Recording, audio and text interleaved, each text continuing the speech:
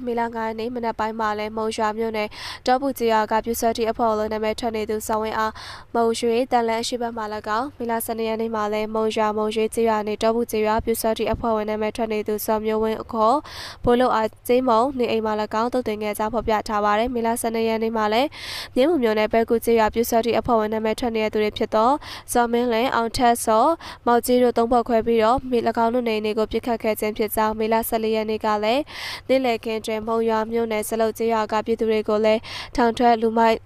စကောင်စီတရင်ပေးတလန်လုံးနာမည်ထွက်နေတဲ့သူကျော်တင်အားထန်းစလုံးလန်ခွဲမှာ၎င်းပြစ်ခတ်ခဲ့ကြောင်းသိရပါတယ်။၎င်းတို့ပြစ်ခတ်ရှင်းလင်းမှုကတော့တော်လိုင်းအင်အားစုတွေ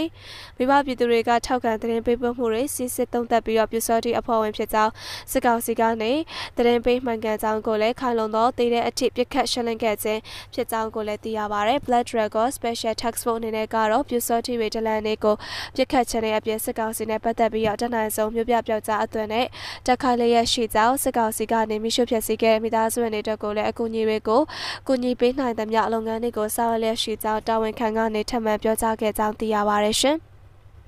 နောက်ထပ်တစ်ဆက်ပေးချင်တာကတော့လဘရောင်တောင်ကျင်းနီစီမံကိန်းဧရိယာကျေးရွာတွေကိုနယ်မြေရှင်းလင်းလှုပ်ဆောင်နေတဲ့စစ်ကောင်စီတပ်တွေတက်ခတ်ခဲ့ရပြီးတော့ကြာဆုံးထိခိုက်မှုတွေများနေဆိုတဲ့သတင်းကိုတစ်ဆက်ပေးချင်ပါတယ်။စကိုင်းတိုင်းလဘရောင်တောင်ဥပိုင်ဝမ်ပေါကုမ္ပဏီကျင်းနီစီမံကိန်းအနီးမှာရှိတဲ့ဒေသခံနယ်မြေရှင်းလင်းလှုပ်ဆောင်နေတဲ့စစ်ကောင်စီတပ်တွေ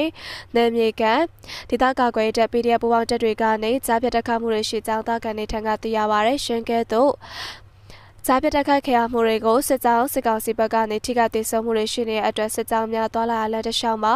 ကျေးရွာတွေကလည်းမိရှို့တာတွေကိုပြုလုပ်နေကြသိရှိရပါတယ်။ကျင်းနီစီမံကိန်းကိုအကောက်အကွယ်ပြုဖို့အတွက်နာမည်ရှင်းလင်းရှင်းတွေလုပ်နေတဲ့တပ်တွေလေသူတို့ကတရုတ်ကုမ္ပဏီကိုကောက်ွယ်ဖို့အတွက်ကိုကျင်းနီစီမံကိန်းရှိတဲ့ကျေးရွာတွေကိုနာမည်ရှင်းလင်းဖို့တက်လာတာတရင်ရနဲ့ကြားပြတ်မှဆွတ်တက်ခတ်လိုက်တာပါ။ပြစ်ခတ်တာတွေကိုလည်းပြုလုပ်နေလို့ဒီကောင်တွေဘက်ကတွေ့သမျှကိုမဲပြီးမိရှို့တာရှမ်းသက်ပြစ်ခတ်တာတွေကိုလုပ်နေပါတယ်။ပြီးခဲ့တဲ့လကလည်းဘာမှမဆိုင်တဲ့ရွှေလီရွာဘက်မှာလည်းကွန်းဆက်တွေကိုမိရှုဖြစ်စီတာတွေ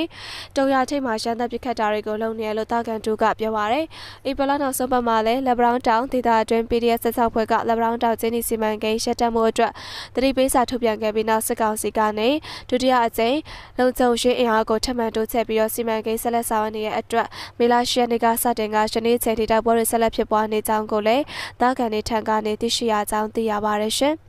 နောက်ထပ်တစ်ဆက်ပေးချင်တာကတော့မရောက်လိုက်ဦးဆောင်တဲ့အကြံဖက်စစ်တပ်ကအောက်ခြေရဲဘော်တွေထွက်မပြအောင်လို့ဆိုပြီးပတ်စံနေထုတ်ပေးပဲအချက်ကင်ထားရလို့စီရီယံဘူကြီးပြောကြားဆိုတဲ့သတင်းကိုတစ်ဆက်ပေးချင်ပါတယ်။ မြောက်လိုက်ဦးဆောင်တဲ့အကြံဖက်စစ်တပ်ကအောက်ခြေရဲဘော်တွေထပ်မပြအောင်လို့ဆိုပြီးတော့ပတ်စံတွေကိုထုံပေးပဲနဲ့အကြက်ကင်နာတွေပြုလုပ်နေကြစီရန်ဘူကြီးရဲမင်းဦးကပြောပါရယ်ဒီကောင်ပတ်စံများကြီးထုတ်ရင်ဘာလို့ဖို့လဲတက်ပြေးဖို့လားမင်းတို့တွေအဲ့လောက်ပတ်စံများကြီးရဲဘော်ကိုရှုံကြည့်ပေးပြီးတာလည်းမဆောင်လေဒါသူပတ်စံတချို့ရဲဘော်တွေက10သိန်း30ဖန်ထဲမှာပတ်စံရှိကြတယ်သူတို့ပတ်စံတွေကိုတစ်လကို4000 5000ဖြတ်ပြီးတော့စုထားတာတချို့သိတယ်တချို့ကတော့မသိဘူးကိုပတ်စံနဲ့ကိုဘယ်လောက်ရှိပြီလဲမသိတဲ့ရဲဘော်တွေမှအများကြီးပါတချို့ကပတ်စံထုတ်ချင်တယ်ဖုန်းလေးကင်ချင်တယ်ပတ်စံ4သိန်း5သိန်းလောက်ထုတ်ချင်တယ်တရင်ပို့ရတယ်အဲ့ခါကျရင်ဘာလို့မှလဲအင်ကိုလွှဲမှလားဘာလို့မလဲရဲဘော်တွေပတ်စံများကြီးထုတ်ရင်သူတို့ကကြောက်ကြတယ်ဒီကောင်ကတက်ပြေးမှာပတ်စံများကြီးထုတ်ပြီးသူတို့တည်တာထားပဲရှိတယ်ရဲဘော်တယောက်ကသူ့ပစံထုတ်မယ်7သိန်း15သိန်းထုတ်ပန်ကိုမရှိဘူးလို့ CDN ဖိုကြီးရဲမင်းဦးကပြောကြားခဲ့တာဖြစ်ပါတယ်။ ဖိုကြီးကတော့ရဲမင်းဦးကဘိုးတင်နန်းကျောင်းမှာ ODS အပတ်စဉ်120ကဖြစ်ပြီးတော့ဧပြီလ၄ရက်နေ့မှာကတော့ရှမ်းပြည်နယ်မြောက်ပိုင်းအရှိတန်းတနေရာကနေစီဒန်ပြုတ်လုပ်ပြီးတော့ပြောင်းလာတဲ့သူလည်းဖြစ်ပါတယ်။မြောက်လိုင်းနေနဲ့ကတော့အောက်ခြေရဲဘော်တွေထွက်ခွာမပြေးနိုင်အောင်မို့အတွက်ကိုအသက်အာမခံတွေဗတ်စုငွေတွေဒီနေ့ပေါင်းစုံတဲ့ကိုလည်းရဲဘော်စစ်တီရီလာကလည်းကဖျက်တောက်ထားပြီးတော့စစ်တပ်ကထွက်မပြေးနိုင်အောင်လုပ်တာလည်းဖြစ်ပါတယ်။ ရဲဘော်တွေကလည်းထွက်ပြေးစုထားတဲ့ပတ်စံလေးဆုံးပါပဲဆိုပြီးတော့မျောနေတဲ့ရဲဘော်တွေလည်းအများကြီးပဲလို့စီဒန်ပိုကြီးရဲမင်းကပြောပါရယ်မြောက်လိုက်ဦးဆောင်တဲ့အကြမ်းဖက်စစ်တပ်ထဲမှာပြိုလဲမှုတွေစတင်နေပြီးရဲဘော်တွေလာစားအပြည့်မပေးတာတွေစုငွေထုံပေးတာမျိုးတွေကိုတုံးပြီးတော့တမပြအောင်ပြုလုပ်နေရလို့လည်းသိရှိရပါတယ်ရှင်နောက်ထပ်တစ်ဆက်ပေးချက်နဲ့တရေကြောင်းရာကတော့ကဏီမျိုးနဲ့မှန်တောင် တောက်ချေစခန်းမှာတက်ခတ်ခဲ့ရပြီးတော့စစ်ကောင်စီတပ်သား10ဦးထပ်မံတေဆုံးပြီးတော့စစ်တပ်ကထရရှားတဲ့သူတွေများပြားဆိုတဲ့သတင်းကိုတက်ဆက်ပေးကြပါရရှင်။စကိုင်းတိုင်းကနေမျိုးနဲ့မှန်တောင်တောင်ချေစစ်ကောင်စီတပ်စခန်းကိုမေလ15ရက်နေ့ညနေ9:30မိနစ်ဝန်းကျင်မှာလဲ60မမတရားမမတို့နဲ့တက်ခတ်ခဲ့ရပြီးတော့စစ်ကောင်စီတပ်က10ဦးထပ်မံတေဆုံးစစ်တပ်ကနေထရရတဲ့သူတွေများပြားကြောင်းသိရှိရပါတယ်။အဆိုပါစစ်ကောင်စီတပ်စခန်းကိုဒေါင်းလူလင် LPDF နဲ့မဟာမိတ်အဖွဲ့တွေစင်ရတိုက်က Next Generation Hope Channel Revolution Revolutionary Fighter လောကပါလ drone စောင့်ကြည့်ရေးအဖွဲ့နဲ့အမည်မသိအဖွဲ့တို့ကနေပူးပေါင်းတိုက်ခိုက်ခဲ့ခြင်းဖြစ်တယ်လို့လည်းသိရှိရပါတယ်။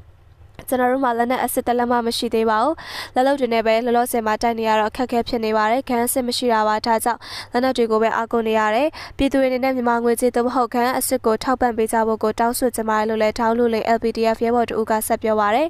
တိုက်ပွဲမှာလည်းထောင်းလို့လေ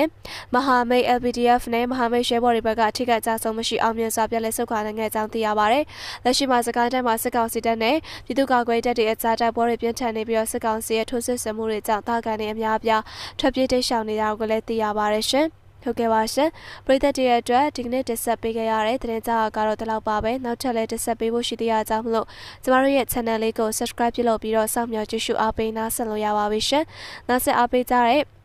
ပရိသတ်များအားလုံးကိုလည်းကျေးဇူးထူးပဲတင်ရှိပါရယ်ပရိသတ်များအားလုံးလည်းကိုစိတ်နှပြရှင်းလန်းချမ်းမြေ့ကြပါစေရှင်။